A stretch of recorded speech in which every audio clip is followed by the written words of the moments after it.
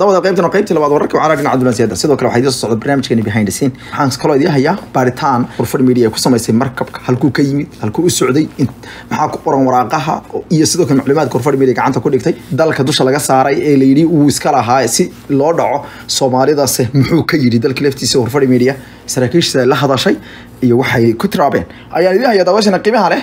Ee horta dabcan waa ka wadi bishii labaade waa labaatan labaatan iyo laba sanadku qaybtan waa qaybtii labaad ee wararka wacaalaha dhinaca diblomaasiyadda caalamka oo dhan eh wasiirka wasaaradda arrimaha dibadda dalka algeria ayaa waxa uu sheegay in gogol ay u dhigayaan kuwa ishaya ee ayagu mowqifka noqon waayey ee reer falastiin si loo heshiisiiyo isagoo hadlaya ayuu sheegay in heshiisiinta iyo dib heshiisiinta wadahadalada loo furayo kooxaha falastiiniyiintu ay noqon doonaan kuwa muhiima rugcadaaga diblomaasiga ee dalka algeria dib u soo celiyay diblomaasiyadiisa arrimaha dibadda ramtin lamamra ayaa waxa uu sheegay in ay yaqaanaan islamarkaana ay u leeyihiin khibrad si loo heshiisiiyo falastiiniyiinta wuxuuna sheegay inay dhowr jeer ay shirar heer saraa u qabteen. Dhanka kale wuxuu sheegay in saddexda dal ee ugu tunka weyn. Wadamada carabta ee arrintaasi ku lug leh ay isugu keeni doonaan. Magaalada algeris ee xarunta dalkaasi algeria. Dalalka masar sacuudi arabia iyo dalka qatar ayaa arrinta aada ugu lug saddexdabana waxay ka soo qaybgeli doonaan shirka ay isugu imaan doonaan xamaas iyo fatax oo iyaga loo kala taaglay dhanka kalena dowladda algeria ayaa sheegtay in ay ka cadhaysan tahay dhaqdhaqaaq foolxun oo ay wado dowladda dalkaasi morocco ciidankeedu kadib markii ay dad shacaba ku dileen aagga aan loo aqoonsanayn ama aagga ka dambeeya ayay tiri dhulka loo aqoonsanyay labada xuduudood ee dalka dalalka kuwaas ay sheegeen in diyaarada tronis ay ku soo weerareen aagga la isku haysto meel ku dhow ee galbeedka saxra waxay ka digtay dowladda dalkaasi inay tallaabo cad ka qaadi karto dowladdaasi ay ka awooda badan tahay. Algeria ayaa dhowr jeer waxa ay isku qabatay inay tallaabo military ka qaado wasiirka wasaaradda arrimaha dibadda ku-xigeenka wasiirka wasaaradda arrimaha dibadda ee dhinaca dalkaas u qaabilsan arrimaha bari arrimaha galbeedka camaar belani ayaa ku adkaystay in xukuumadda dalkaasi ee boqortooyada ah ay wado in ay dhaqdhaqaajiso gardarooyin waaweyn. Goortii horeysay ayaa morocco waxay dhowr jeer ku eedeysay inay isku dhiibtay maamulka sahnooniyadda oo ila jeedaan israel kuwaasoo ay sheegtay inay dhibaato aada xooggan waddanka ku yihiin. Dhowr jeer ayay sheegtay inay sidoo kale ogaatay in arrimo dhaqdhaqaayo foolxan wado.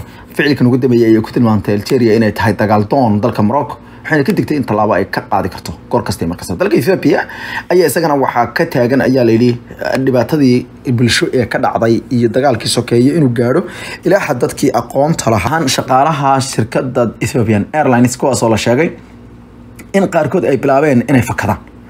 Waxay taasi muujinaysaa ayaa layidhi in dalka ethiopia ay arrimuhu ku sii baaheen gaar ahaan arrintaa dhinaca kala duwanaanshaha qoomiyadaha oo sii xubaaraya gaar ahaan dadka tigreega oo iyagu sheegaya in la ugaarsanayo sida uu ku waramayo t v-ga c n n ee dalka mareykanka laba xubnood oo u dhashay dalkaasi ethiopia islamarkaana ka soo jeeda qoomiyadda tigreega oo muddo shan sana ka shaqeynayay shirkadda ethiopian airlines ayaa ku dhex dhuuntay mid ka mid a diyaaradaha oo taagnaa hangarka diyaaradaha ama baakinka diyaaradaha ama meesha diyaaradaha lagu qoofulo gaar ahaan nooca qaada kaargooga ama xamuulka waxay galeen alaabaha xamuulka dhexdooda si ay isugu diyaariyaan inay ku dhex dhuuntaan ka duuleysay magaalada addis ababa ee xarunta dalka ethiopia una socotay magaalada brussels ee dalka belgium.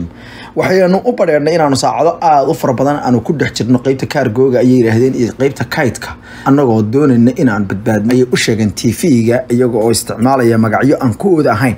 Sida uu t v-ga cnnka u sheegay. T v-ga cnnka waxa uu sheegay in labadan qof ay markii ay dhuunteen ay diyaaradaas ku dhex dhuunteen ay doonayeen inay nololtaa ka fiican helaan mid ka mid ayaa sheegay in la dilay xaaskii u doonaneed. Halka mid kalena uu sheegay in qoyskooda la gebagebeeyey iyaguna ay xarisugayaal ahaayeen shaqaalaha kale ayaa la sheegay inay beryihii ugu dambeeyeen ka shakisanaa inay dib ugu noqdaan dalka ethiopia gaar ahaan kuwa tigreeg ah.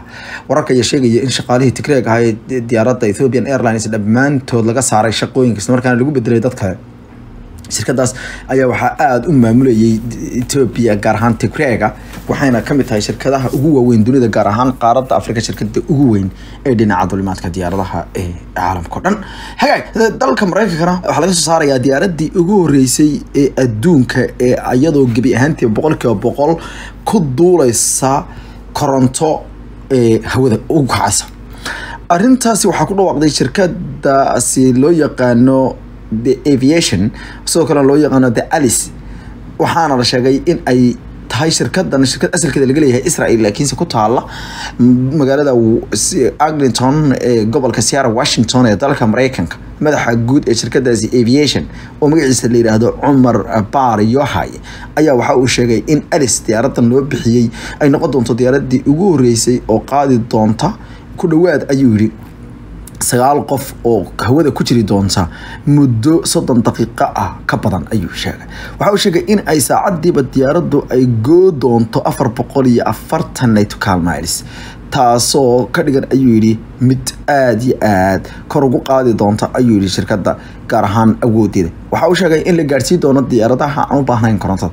Dhanka kale waxa uu yihi waa sida telefoonka oo kale ayaa diyaaradda oo dhan gebigeeda loo jaaj garaynaya kadibna waxay u duulaysaa hawada waxaana laga maaramayaa in shidaal loo isticmaalo. Dunida oo dhan ayaa beryihii ugu dhan waxay ka cabanaysay arrinta cimilada sii xumaanaysa waxayna dalbanayeen in ay noqoto arrintaasi mid kor loo qaado waxyaalo kale oo aadanuhu ay ka fakaraan gaar ahaan badqabka dhinaca bili-aadanimada ee hawooyinka yidhi haatan aynu egno wararkii dhinaca diblomaasiyadda ee dalka rusia iyo wararkii la xiriirayay iyo ugu darareed ee dhinaca diblomaasiyadda iyo anshaxa aada u saameysay waxay ka dhacday horta golaha ammaanka ee qaramada midoobey kulankii golaha ammaanka qaramada midoobey xalay ay isugu yimaadeen ayaa waxa uu noqday mid ku dhammaaday saxmad iyo sidoo kale cay aflagaada oo toosa iyo farataagtaag kadib markii ay isku dhaceen labada safiir ee maraykanka iyo ruushka ku kala matelaya dalkaasi arrinta waxay ku bilaabatay kadib markii safiirka maraykanka u fadhiya golaha ammaanka qaramada midoobey ay ku eedeysay dalka ruushka in uu dunida oo dhan ammaankiisii uu geliyey khalkhal iyo halis aada u weyn iyada oo sheegtay in yurub oo dhan ay ka taagan tahay walaaca dhinaca amni iyo sidoo kale khalkhalgelin waddamada ayay tiri ku taagan. Ilaalinta jaatarka qaramada midoobey iyo madax banaanida waxay tiri waatan maanta halkan aan u fadhino inaynu ruushka ka hahayno. Dal madax banaan islamarkaana uu doonayo inuu ku tunto. Halkan golahan waxaynu ku fadhinaa sharciyad ayay tiri. Kaasoo ah inuu jiro jaatar ama axdi golaha ammaanka qaramada midoobey iyo dunida oo dhan kala hagaa. Laakiin uma muuqato inay kuwanu dhegeysanayaan linda thomas greenfield ayaa markaasi farta ruuxday. Isla markaana waxay ku tiri waxaan rabaa saaxiibadeenna yurub ku dhaqan in ay idiin sheego inay ku sugan yihiin xaalad degdega islamarkaana aada u halis badan. Islamarkaana aysan xaaladu keliya aysan ahayn ukraine qof kasta ama dal kasta oo ka mid a golaha ammaanka qaramada midoobey iyo guud ahaan qaramada midoobey ay halis ku jiraan mr tomac thomas waxay sheegtay in meesha xaaladu ay tahay mid ay noqon doonto ayay tiri mid wis ah. Waxay tiri haddii ay taas sii socotana annaga maxaanu sameynanaa bay tiri waa ina cawaaqib xumo aan kuwan la dultagnayay tiri hase yeeshee waxaa hadalkaasi si weyn uga cadhooday safiirka dalka rusia u fadhiya isaguna qaramada midoobey faysal nepensia ayaa waxa uu isaguna u muuqday nin aada uga cadhaysan isagoo miiska laba jeer gacanta saaray wuxuuna sheegay in uu tanu tahay. Waxay iyagu jecel yihiin. Waxaa u muuqataa in hadalladan qaarkood ay qadaf yihiin kuwo kalena ay yihiin daantaansi iyo dagaal kicin. Ayaga weeye kuwa rabaa in dagaal dhaco ayuu yiri intuu farta ku fiiqa. Wuxuu kaloo yidhi waa ayaga waxay rabaan inay arkaan dagaal iyo dhiig maydh way sugila yihiin. Ayuu yidhi intaasi ay dhacdo. Waxay rabaan in hadalkooda loo rumeeyo. Annaga dhowr jeer baanu nidhi dagaal uma diyaarsanin. Waxaanu doonaynaa ammaankanada inaan sugno. Wuxuu ka digay inay tani aysan noqon doonin mid dalkiisa go'aamadiisa laga meeriyo magaalooyinka washington iyo kuwo kale oo aan danaynayn. Ayuu yidhi amniga dunida waxaan rabaa inaan mar kale idinku idhaahdo eedeymahan oo dhan waa waa folos ama waa hadallo wax matarayaal ah. Waxaan kaloo idiin sheegayaa ayuu yidhi waa kuwo kale oo muujinaya cadaadis aad dalka iyaga ku saarasaan inaan tallaabo qaadno. Haddii ruushku uu sameynayo tallaabooyin dhinaca ammaankiisa u dana isaga ayaa go'aansan doona ayuu laakiinse juqajuqayn iyo hirgeyn kuma noqon doono ayuu kuwa go'aama ku qaata. Dhanka kale madaxweynaha dalka maraykanka mr baiden ayaa ka digay in dowladda dalka maraykanku ay qaadi doonto tallaabooyin ad adag haddii ruushka uu sidaasi suubiyo. Wuxuuna sheegay in arrimahoo dhan ay waktiga ay go'aami doonaan. Dhanka kale dowladda dalka maraykanka ayaa sheegtay mar kale inay heshay jawaab degdega oo ka timid waraaqdii ugu dambeysay ee u diraan dalka rusia ee ku saabsaneed. Jawaabo hore oo dhinaca walaacyadii ruushku qabay laga soo jawaabay taasoo dhowaan uu ruushku sheegay in layska indhatiray. Sarkaal diiday inuu magaciisa sheego oo la hadlay washington post ayaa sheegay in ay ballameen caawa goor dambe inay khadka telefoon ku wada hadlaan. Labada wasiir arrimaha dabadeed ee antony pinkin xogaya arrimaha dibadda maraykanka iyo dhigiisa dalkaasi sergey lafrof waxaana la sheegay inay ka wada hadli doonaan sidii xaajooyinka loo sii wadi lahaa. Dhanka kale dowladda dalka rusia ayaa sheegtay inay ka hortagtay waxay ugu yeedhay mu'aamarad ay wadeen kooxo doonayay inay qalalaase ka kiciyaan magaalada kiev ee xarunta dalkaasi magaalada kiev ayaa la sheegay in ay wadeen kooxo taageerayaal oo ah ruushku inay kiciyaan wax u eg mudaharaad oo kale.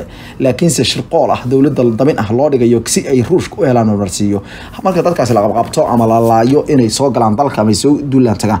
Ku-xigeenka wasiirka wasaaradda arrimaha gudaha ee dalkaasi ukraine ejin inin ayaa waxa uu sheegay in ragga la qabqabtay ay ahaayeen kuwo la aaminsan yahay. Inay hore uga soo dagaalameen gobolka vostok ama kooxdii loo yaqaanay the foster battalion of rebels oo koox markaasi jabhad ahayd oo labadii kun iyo afar iyo tobankii la sheegay inay dagaal qaarkood ay galeen.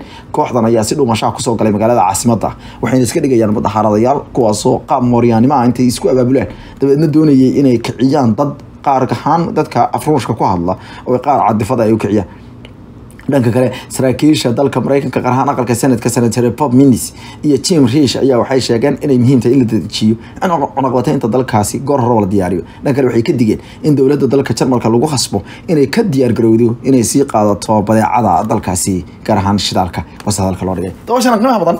Wararka wacaalaa dhinaca diblomaasiyadda trapel xogo waaweyn qeybta khurfadhi t v aan gudbi doonaa sidoo kale dabashana qiimaha leh sugi waa ina barnaamijyo kale oo dowada keena iyo weliba xogihii dheeraadka haata ka tahay